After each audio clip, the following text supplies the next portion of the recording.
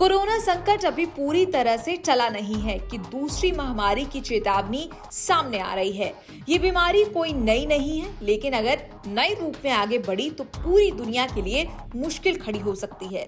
क्या है बीमारी और कितना है खतरा? हम आपको इस रिपोर्ट में बताने जा रहे हैं। कोरोना संकट के बीच दुनिया पर बर्ड फ्लू का खतरा मंडरा रहा है। इस बर्ड फ्लू वायरस के कम से कम आठ स्ट्रेन पल रहे हैं, जिनके बारे में कहा जा रहा है कि अगर ये फैले तो अंजाम कोरोना महामारी से भी ज़्यादा बुरा होगा।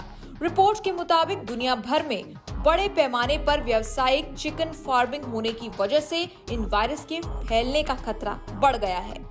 द गार्जियन की रिपोर्ट के मुताबिक पिछले साल दिसंबर में रूस के असत्रखान शहर के पास खेतों में एक लाख से ज़्यादा मुर्गियाँ अचानक मर गई। जाँच के बाद पता चला कि इसके पीछे घातक एवियन फ्लू का नया स्ट्रेन H5N8 था।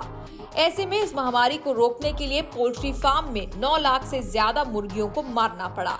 एवियन फ्लू दुनिया में फैलने वाली एक और महामारी है और H5N8 सिर्फ़ उसका एक स्ट्रेन है। ये स्ट्रेन हाल के सालों में ब्रिटेन समेत करीब 50 देशों में हज़ारों मुर्गियों बतख और दूसरे पक्षियों की मौत का कारण बना। लेकिन असत्र खान की घटना इन सबसे अलग थी। क्योंकि मुर्गियों को मारने के बाद जब खेतों में काम करने वाले डेढ़ मजदूरों का चेकअप किया गया तो उनमें पाँच महिलाएँ और दो पुरुषों में ये बीमारी पाई गई। ये पहली बार था जब H5N8 पक्षियों से मनुष्यों में फैला। रिपोर्ट के मुताबिक इस घटना को लेकर WHO को अलर्ट किया गया था, लेकिन कोविड 19 महामारी के कहर के कारण उस समय इस पर कम ध्यान दिया गया। हालाँकि रूसी संघ के मुख्य उपभोक्ता सलाहकार अन्ना ने टीवी पर चेतावनी दी थी कि संभावना है कि H5N8 स्ट्रेन जल्द ही इंसानों में भी फैल सकता है। उन्होंने इसकी वैक्सीन विकसित करने का काम फ़ौरन शुरू करने के लिए कहा था। बताया गया कि एवियन फ्लू के आठ या इससे ज़्यादा प्रकार के, जो सभी मनुष्यों को संक्रमित और मारने में सक्षम है, साथ ही संभावित रूप से कोरोना वायरस की तुलना में ज़्यादा गंभीर है। इस पर ध्यान देना बेहद ज़रूरी है। हालाँकि 2021 में इंसानों के H5N8 से संक्रमित होने की कोई और रिपोर्ट नहीं आई है, लेकिन पिछले हफ़्ते चीन से चिंताजनक खबर आई।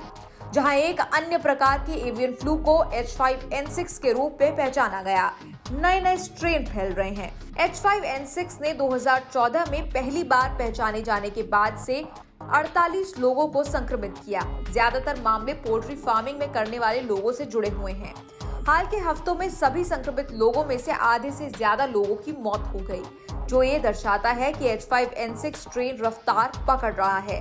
साथ ही इस स्ट्रेन का म्यूटेशन बेहद खतरनाक भी है।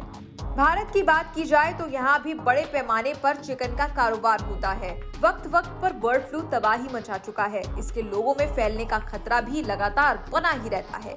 इसी तरह अब एवियन फ्लू आने वाले दिनों में महामारी का रूप ले सकता है, जिसे लेकर पहले ही अलर्ट रहने की ज़रूरत है। आप न्यूज़ तक को नए रूप में देख रहे हैं। न्यूज़ तक का रंग रूप बदला है, लेकिन भरोसा वही है। हमारी कोशिश है कि आपके लिए बेहतर से बेहतर कंटेंट पेश किया जाए, ताकि देश, दुनिया की ज़रूरी खबरें सही और पूरी जानकारी के साथ आप तक पहुँच पाए। न्यूज़ तक ब्यूरो।